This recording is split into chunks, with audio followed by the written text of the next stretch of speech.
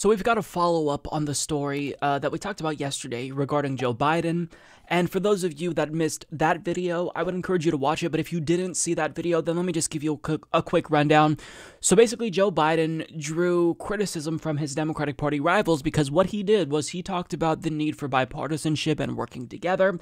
And to do that, he talked about how he used to work with white supremacists, like actual segregationists like James Eastland, and he went a step further.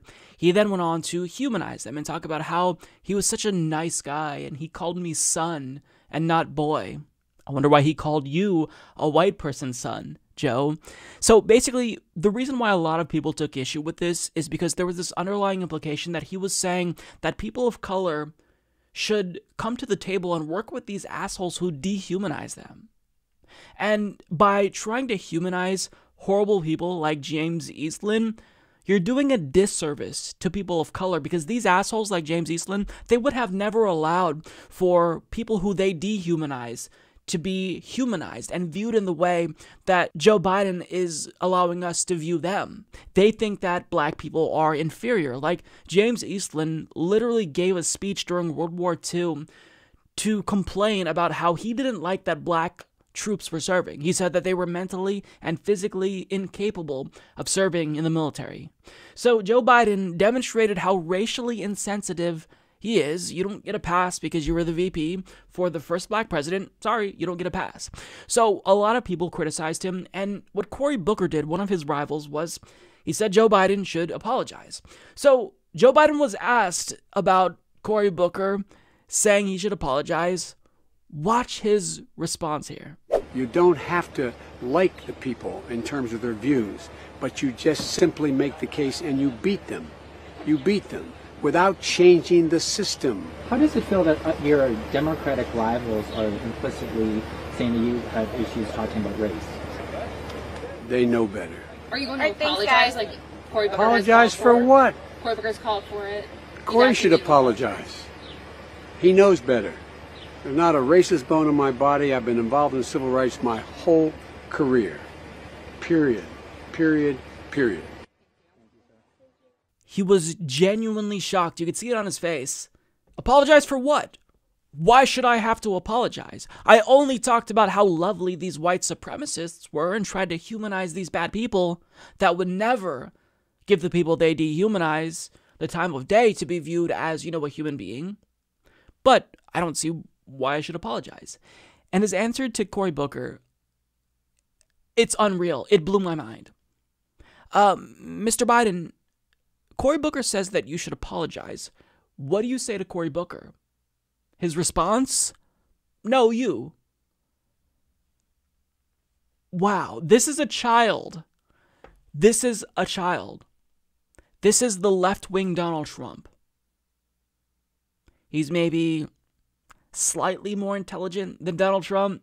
He's certainly um, almost as narcissistic as Donald Trump.